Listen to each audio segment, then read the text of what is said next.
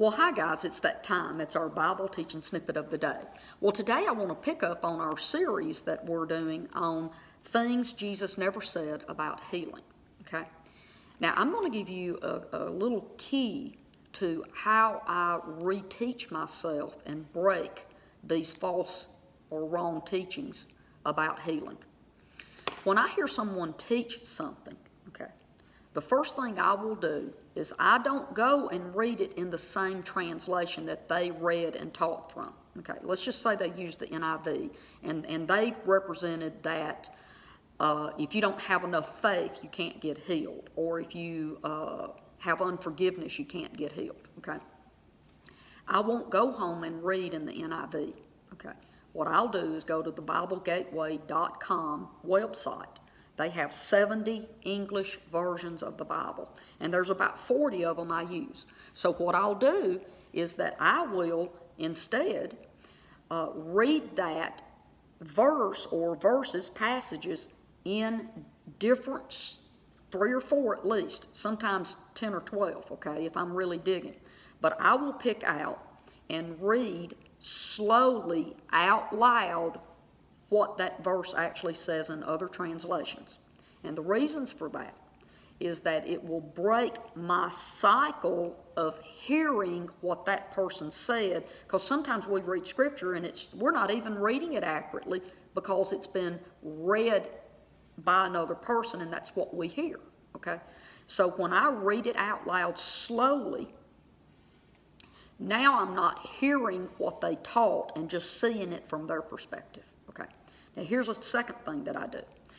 I always go and I read what is in red. I read it slow, out loud, in several different translations. Because when I do that, it will break down and disprove every false teaching that men put out there. It always does, guys, I'm telling you. When I let Jesus and what's in red be the rule, He is my supreme authority. What he says is the golden rule. It don't matter what Pastor Paul or Pastor Jimmy said. I don't care how long they've been saved, and I honestly don't care how many seminaries they've been to. Jesus didn't go to a seminary, okay?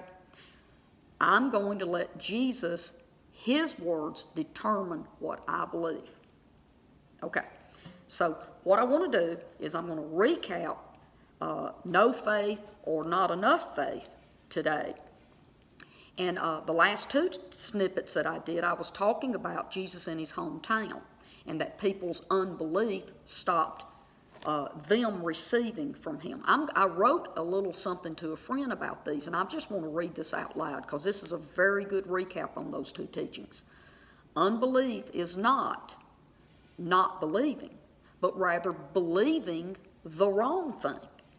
This account of Nazareth and Jesus not being able to do many mighty works, this account is the perfect example. City after city believed the right thing about Jesus, and the people received whatever they needed.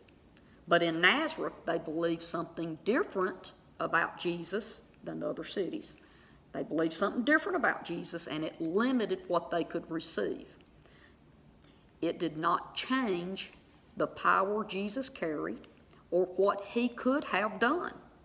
Their opinion of Jesus limited what they could receive from him. Okay? If you listen to me very often, you're going to hear me say this. Your opinion of God is going to determine what you can receive from God. Okay? If you have the wrong opinion of God, that's because you're believing the wrong thing. And when you believe the wrong thing, you won't have enough faith toward something to receive what God will give you. Okay? I'm going to show you also, I want to bring this up. In James chapter 1, verse 7, it says, A double minded man can expect to receive nothing from God. It does not say God's holding anything back. It says that a person that's got double minded thinking can't focus on and believe the right thing so that they can receive through faith what God has for them. Okay. So the next thing I want to talk about is this faith thing that we, and I want to wrap it up too because I want to move on into unforgiveness keeping people from being healed because that is a false teaching. I've, I personally have seen people that's riddled with unforgiveness because they tell me they are and they get healed anyway. So, and when a woman can't stand up and walk and she gets up and starts walking, I'd say that the unforgiveness didn't stop her healing, uh, her healing from manifesting right there in front of my own eyes. But let me go over and I want to talk about this. And again, I'm going to let Jesus tell you about faith, whether you have enough faith or not enough faith and all of that. Here we go. Luke chapter 17, verse 6. And Jesus said, If you have faith like a seed of a mustard plant, you would say to this mulberry tree, Be uprooted and be planted in the sea, and it would have to obey you. It's in red. Little bitty amount of faith, right? Okay. Here's Matthew chapter 17, 20. And Jesus said to them, Because of your littleness of faith, is the reason they couldn't heal the little boy. Okay, this is the account of the demoniac boy having the seizures. The nine couldn't heal him, and they asked Jesus privately later why. And that's what he's saying because of your littleness of faith. But here's the part I want you to see. For truly I say to you, if you have faith that is living like a grain of mustard seed, you can say to this mountain, Move from here to yonder place, and it will move, and nothing will be impossible to you. So, see, what Jesus just said is if we have a little bitty mustard seed, you can barely see it, uh, it's the smallest seed that they knew of at this time in Jerusalem, okay? But this small little bitty seed is strong enough to move a mountain into the sea or wherever you tell it to go. Okay. Now, this is the, what we get taught. If you have a mountain of faith, maybe you can move a cold. And that is simply not what Jesus said. Jesus said that we just needed a smidgen of faith. And that and here's what I want to show you about this. I was praying about this. I'm going down the road worshiping, and he showed me this, and I have to tell you this story. I was talking to him about this mustard seed of faith and everything. And this is what he told me. He said, Faye, it's like you and Eli, okay? This is my baby brother's little boy. Eli's three and a half years old. Eli can walk into your restaurants with a quarter and get anything he wants. And we both know that he cannot buy anything off that menu with that quarter. And I'm like, well, that's right. And he said, so it's not because it's enough money, it's because of who I am. It's like Eli, he knows when he goes into Gammy's restaurant, it's like I can have anything in here. And all the cashier has to do is take his little quarter and hit a bunch of buttons, and he can have everything on the menu if the kid wants it. Why? Because of who I am, and watch this, who he believes I am, and what I'm able to provide him with. So it's about who I am and who he believes I am, is what that 25 cents can get that little boy that, watch this, nobody else can have for a quarter because a stranger is not walking in and handing my cashier 25 cents and getting anything off that menu. But that baby, he can walk in and have the whole restaurant for 25 cents. You know, God showed me that faith works like that with him. It's about who he is and who we believe he is and His love toward us to show us His goodness. So when I love God and know who He is, and I know how much He loves me, He will give me anything in the kingdom of God. He will give me my heart's desire because of our relationship and who He is and who I believe He is and what He's capable of. Okay, so now I, I want to close out on that part of the Jesus being limited and Jesus not being able to do any miracles. That's not true. I've closed that out. Now I've closed out this faith or lack of faith or no faith. I'm going to start in on, and here's this is the easiest one to lay down. I'm going to go over to this part of our teaching on unforgiveness keeps people from getting healed. Did you know there's not a scripture in your Bible that says that? And Jesus, I assure you, did not say that, okay? So let's go over to Matthew chapter 6. This is where we call it the Lord's Prayer. the boys wanted Jesus to teach them how to pray, and Jesus teaches them, and we have two accounts. One's in Matthew, one's in Luke. But here we go. Down here on verse 14, it says, and this is in red, Jesus said it, For if you forgive men their trespasses, your heavenly Father will also forgive you. But if you forgive not men their trespasses, then neither your Father will forgive your trespasses. Okay. This is what the scripture does not say. So I'm going to read what it does not say. For if you forgive men their trespasses, your heavenly Father will heal you. But if you do not forgive people their trespasses, your heavenly Father will not heal you. Doesn't say that. Jesus was talking, and this is before the cross, and this is what's so important about this specific teaching. Number one, it isn't even about healing. It's about us walking around holding offenses and grudges, which tear us up on the inside and destroy us, not the other person, okay? Jesus was talking about that we needed to be more like God and forgive people. All right. So let me go over and I want to read some things to you right here.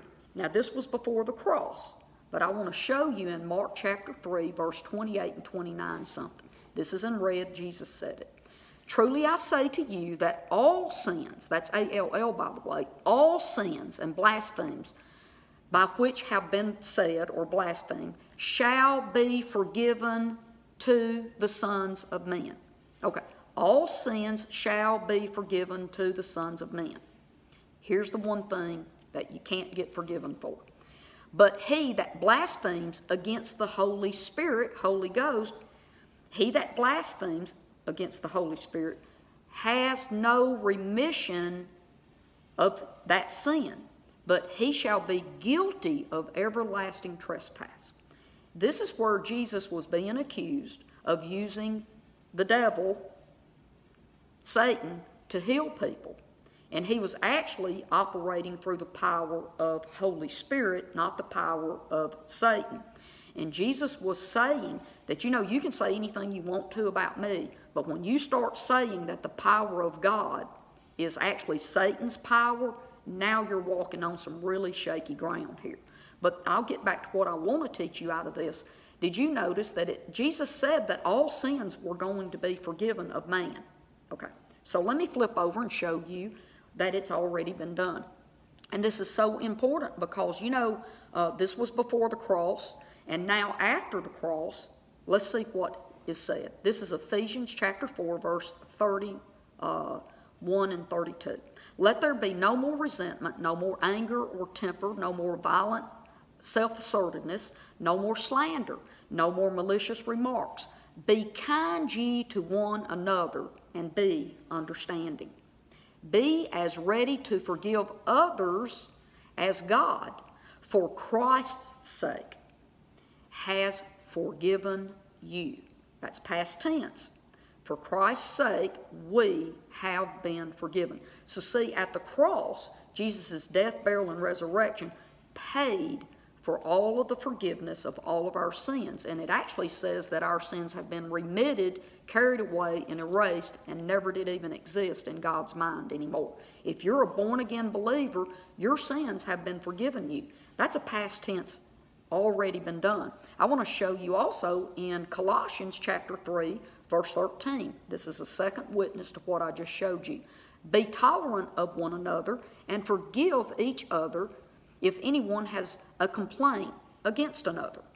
Just as the Lord has forgiven you, you also should forgive. Do you see that? That's a past tense.